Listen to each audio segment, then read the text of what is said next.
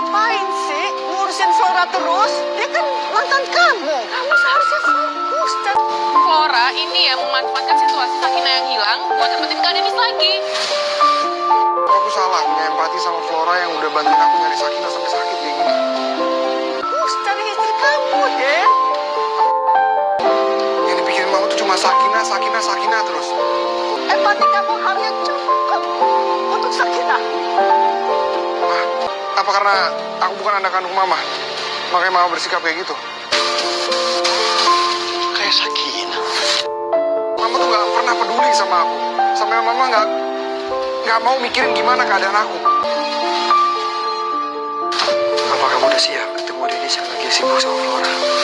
Karena Sakina anak kandung mama. Iya. Kalau sampai Sakina ketemu sama Om Haidar, pastikan nanti Om Haidar bakal kasih tau Denis. Dan di sini terlihat ya nampaknya Denny semakin kesal sama Mama Lauza yang sepertinya hanya memikirkan Sakinah, Sakinah dan Sakinah terus.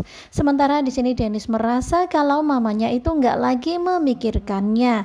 Ya tentu saja timbul kecemburuan dalam dirinya. Tentu saja Mama Lauza pun jadi merasa gimana gitu ya dengan kata-kata yang diucapkan oleh Dennis.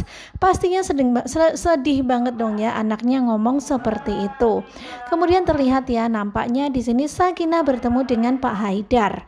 Dan tentu saja Pak Haidar kaget ya ketika dia melihat seperti ada seseorang yaitu Sakinah. Dan di sini terlihat juga bagaimana paniknya si Fadil kalau sampai Sakinah bertemu dengan Pak Haidar. Tentunya Pak Haidar nanti akan mengatakan kepada Dennis keberadaan Sakinah. Simak kelanjutan Bidadari Surgamu hanya di Shiva Family. Terima kasih.